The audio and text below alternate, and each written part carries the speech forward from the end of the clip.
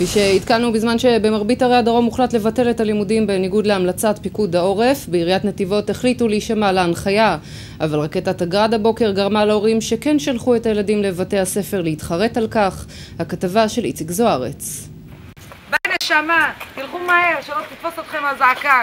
ברוב יישובי הדרום לא התקיימו לימודים היום, אבל דווקא כאן בנתיבות שלעברה נורה גרד הבוקר, למדו.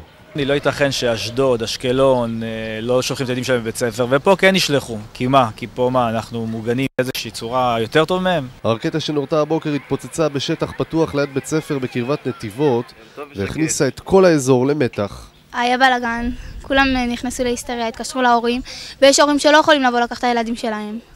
אוקיי, אז זה יצר בעיה. ואם מלכתחילה היו אומרים לנו לא לבוא לבית ספר, אז זה היה פותר לנו את הבעיה. ההורים המודאגים החלו להגיע בזה אחר זה לבתי הספר, כדי לקחת את הילדים למקום בטוח יותר.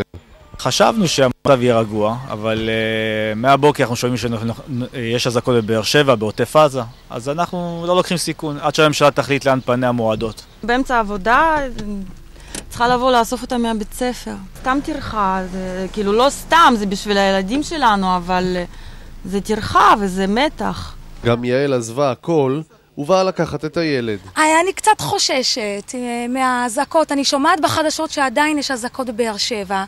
אני קצת לא רגועה, אז באתי ככה לקחת את הילד. אבל יעל חוזרת בידיים ריקות.